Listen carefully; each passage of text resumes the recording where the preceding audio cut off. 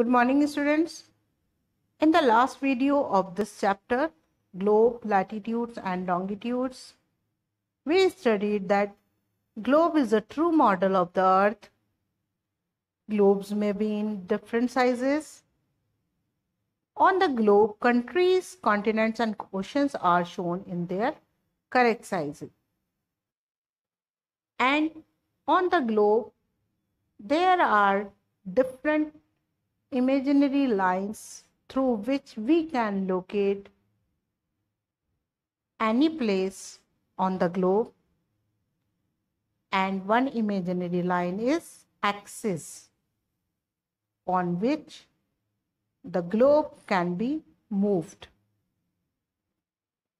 So now let's see another imaginary line of the globe.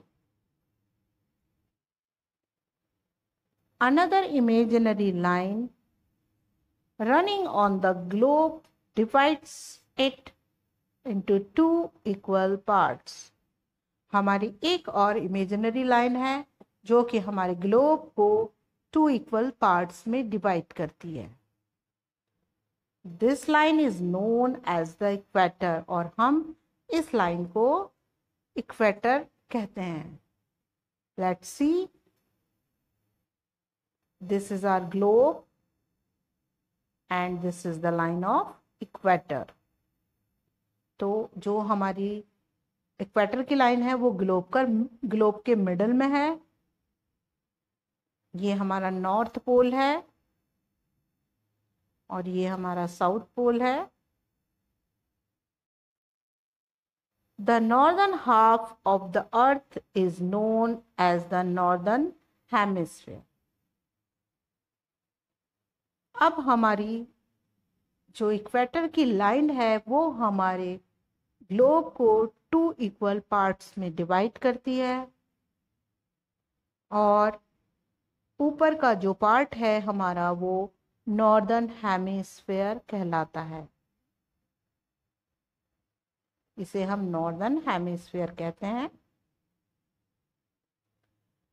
And the southern half is known as southern hemisphere और जो नीचे south pole side का half part है, उसे हम southern hemisphere कहते हैं।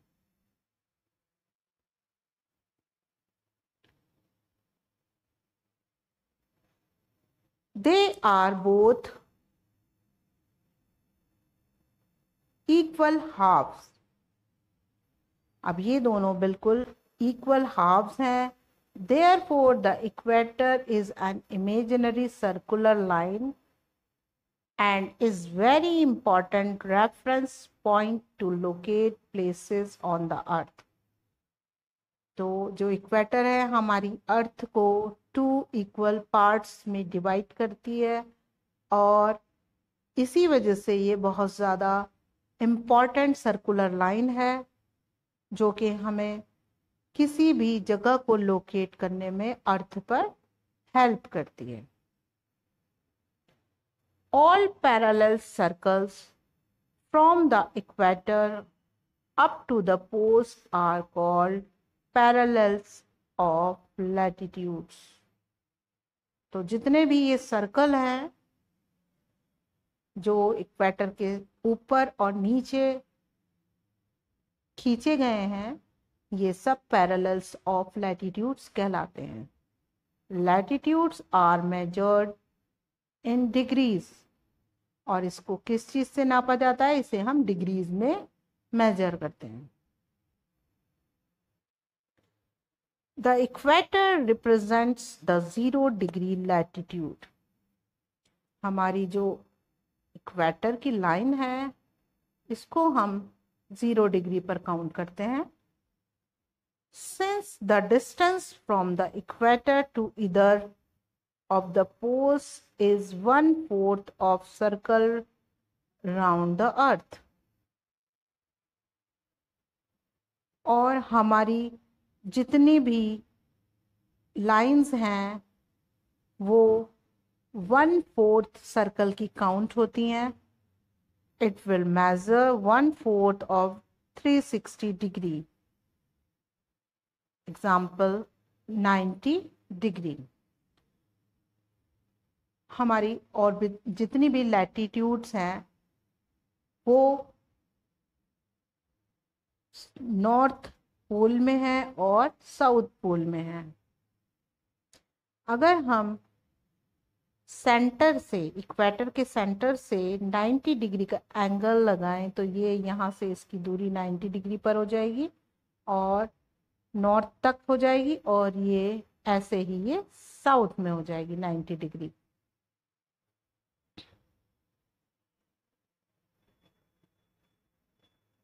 Thus 90 degrees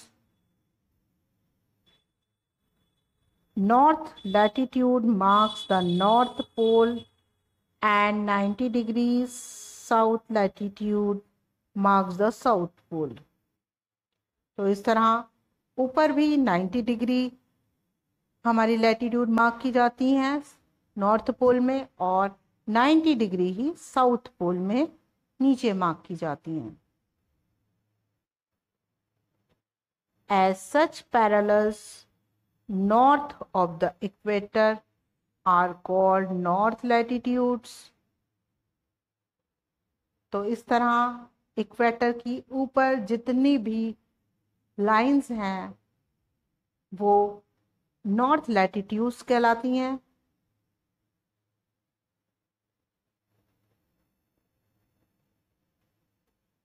Similarly, all parallels south of the equator are called south latitudes और जो साउथ पोल पर इक्वेटर से साउथ पोल तक की लाइन से वो साउथ लैटिट्यूड्स उन्हें हम कहते हैं। The value of each latitude is therefore followed by either the word north और साउथ और हमारी जितनी भी लाइंस हैं, उनको हम नॉर्थ और साउथ के नाम से जानते हैं। Generally this is indicated by the letter N और एस और इनको हम इंडिकेट करने के लिए एन और एस लेटर्स का यूज़ करते हैं। For example both Chandrapur in the Maharashtra India अब यहाँ पर एक एग्ज़ाम्पल दिया हुआ है कि अगर हम चंद्रपुर जो कि महाराष्ट्र में है इंडिया में एंड बेलो हॉरिजेंटो इन ब्राज़ील बेलो हॉरिजेंटो जो ब्राज़ील में है, साउथ अमेरिका में are located on parallels of about 20 degree latitude इनका एरिया 20 डिग्री लैटिट्यूड बताया गया है। अब अगर हम ये सोचें कि 20 डिग्री वॉट कि किस डायरेक्शन में हमें ये बताया गया है, अगर हमें डायरेक्शन नहीं पता चलेगी तो हम फाइंड नहीं कर पाएँगे कि बैलो हॉरिजेंटो किधर है और चंद्रपुर महाराष्ट्र में जो है वो किधर है? But the former is 20 degree north लेकिन यहाँ पर हमें आसानी के लिए ये बता दिया गया है कि फॉर्मर फॉर्मर यानी कि चंद्रपुर महाराष्ट्र का 20 डिग्री नॉर्थ में है और लेटर इज़ 20 डिग्री साउथ और जो दूसरा है मींस बैलो हॉरिजेंटो तो वो ब्राज़ील के जो है वो साउथ पोल में मिलेगा हमें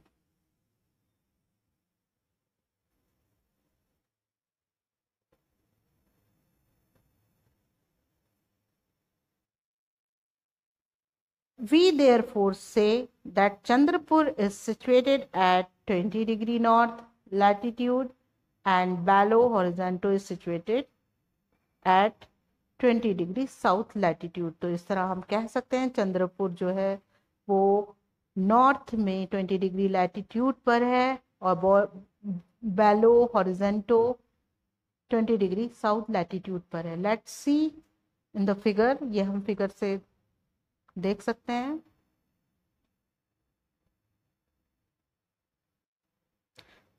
These are the lines of latitudes this is equator and uh, this is 20 degree north and this is 20 degree south तो अगर हम चंद्रपुर को फाइंड आउट करेंगे तो वो इस एरिया में हमें मिल जाएगा और हम बैलो हॉरिजेंटो फाइंड करेंगे तो वो यहाँ पर हमें मिल जाएगा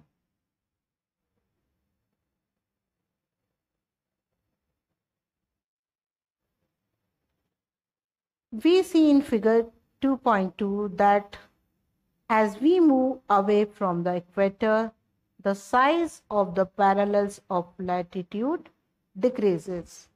So again we have to see the figure 2.2 ये जानने के लिए कि जैसे जैसे हम इक्वेटर से ऊपर या फिर नीचे की तरफ़ जाते हैं तो पोल्स पर जाते जाते जो इक्वेटर की जो हमारे लैटिट्यूड्स हैं वो साइज़ में छोटे होते जाते हैं। लेट सी अगेन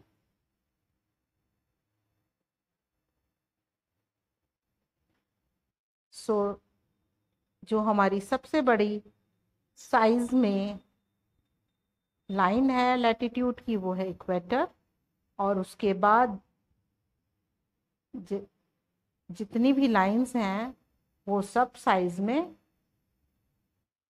डिक्रीज होती जा रही हैं और पोल पर जाकर ये लाइन बहुत छोटी हो जाती है और पॉइंट में कन्वर्ट हो जाती है, इसीलिए हम इसे नॉर्थ पोल और साउथ पोल कहते हैं।